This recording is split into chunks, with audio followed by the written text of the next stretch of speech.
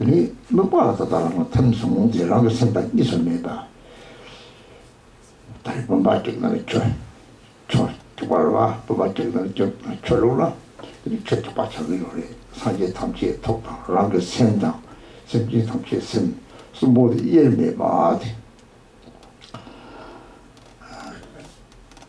이 예매 봐도 뭐 거래 사르 봉사 유전 용보지 스분으로 사동 송욕 zhaba mebe ji senpa zhaba ta taba zhaba tsu yo gore tedi taba zhaba ya la tili hobzar ka senji hoyor ka sen kam pongkri ka da kanyang mebe tabche zhaba mebe zhaba mebe senpa zhaba yo gore hobzar hobzi zharon ka wanyi mangdo tabche zhaba zhaba zhaba ya tili chakwa chakwa yo re. Pene chakwa chakwa shiwa na yi 보통 포지는 거 니지 작동 조절론데 히다다 그래서 강이 나도 강이 마셔는 거지 저봐 나도 다시 못 봐서 공을 거지 못 봐. 참지야 하이 이제는 못 봐. 참지 떨어지니까 강이 저봐 내가 저봐서 떨어지고 그래 저봐서 떨어서 저한테 답들로 빠져 뭐 어째 보든 따로는 야야마도 이게 그냥 제고요 말이에요. 음. 디가미들이 생기게 담비 졸로 만만 잠을 때 가자 랑 따와 또 최종을 때 그때 생기 망보 다음에 봤더니 내 마통 보여래. 라를 김이 죽으여서 보소. 저도 따로는 야 되나? 사지 주바다.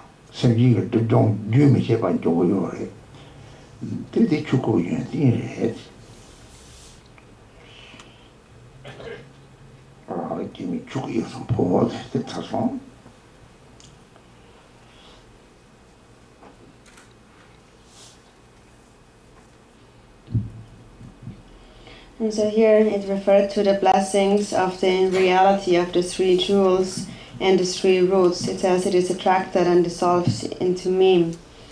So it, it says we said before that the rules of virtue that we accumulate have um, three um, powers. Um, the first power is the power of one's own um, intention, one's own mind. That is, if oneself has realized emptiness and has given rise to the four immeasurables and has cultivated unconditioned love and compassion for sentient beings. Then the second power is the power of the, the Buddhas, the Tathagatas, and that is the love of all the Buddhas that pervades all sentient beings. Um, so it is the great love of all the Buddhas. And then the third power is the power of Dharma Dhatu. That is the realization that the mind, the ground of the mind of all the Buddhas and sentient beings is a single one, and this ground is the Buddha nature. So, through understanding these three powers, whatever action we engage in, we will accomplish them, and sentient beings can attain enlightenment.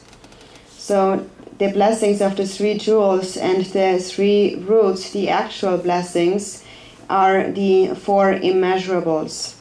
Um, before here it said um, the four mudras, but that's hard to understand. Um, so the four immeasurables, and so it says they are uh, dissolved into me. When um, this mind that pervades all sentient beings dissolves into our heart, self grasping will collapse. It is just like the ice block is melting and becomes one with the ocean. Once um, um, the light rays of their compassion melts in our heart, and so we become inseparable. Our mind and the mind of the Buddhas are a non-dual union. It is just like pouring water from one vase in the other. The water becomes the same. So the minds merge and become the same, and one realizes that one's own mind, the mind of the Buddhas, and the mind of all sentient beings are an inseparable union. And what is the nature of this inseparable union? It is that in essence, the natural ground of inexpressible clear awareness and empty clarity. It is the union of clarity and emptiness. When one lets one's mind rest within the view, there is no grasping. The mind abides like expanse of space, a union of clarity and emptiness. Within that state, free of grasping, there is no one who transfers a consciousness. There is no pure land to transfer the consciousness to, and there is no sentient being for whom one transfers. There is no duality, and so here it says it is without something to to be transferred and the transferum. They become an inseparable union. If one lets the mind rest within the view, free of any grasping. When the mind rests free of any grasping within the view, whatever appears um, melts like an ice block and becomes one with the water, the nature of mind. So it says, upon uttering the resounding yet empty word Hik, which lies beyond mind, um, everything is united and perfected within the endless great display, free from extremes. So when one meditates within that state, whatever thoughts appear, there is no grasping, and one focuses on the visualization, and then thereafter, through uttering strongly the syllable hik, in that instant, everything disperses, all grasping and also the visualization disperses into emptiness. And then all that is left is remaining within the view. So it is said, everything is united and perfected within the endless great display free from extremes.